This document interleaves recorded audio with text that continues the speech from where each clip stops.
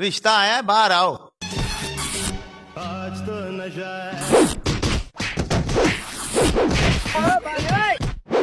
Rickshaw आया बाहर सामान लेके आओ। रिक्शा आया। आहो।